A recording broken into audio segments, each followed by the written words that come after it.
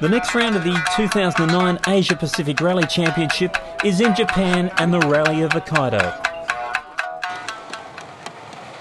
Last year, a torrential rainstorm hit the event, but Japanese driver Katsu Taguchi managed to power his way through the horrendous road conditions to win ahead of the Cusco cars of countrymen Hiroshi Nagasawa and Australian Dean Herridge.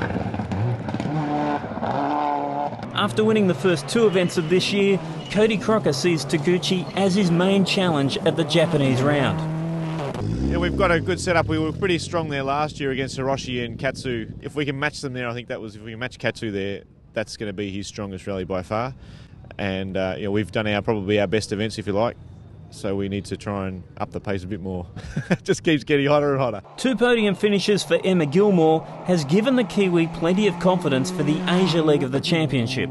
Yeah, no, I enjoyed the roads over there. It'll be a bit different going there this time in summer. We went there when it was in autumn, so um, I think it'll probably be a bit more overgrown in that. But I enjoyed the roads there, had some good stage times in that, so I think it, it should be a good event for us.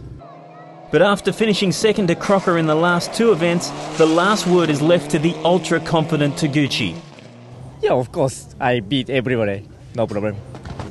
The fireworks at Rally Hokkaido get underway on the 10th of July, with the action over the weekend and based near the city of Obihiro.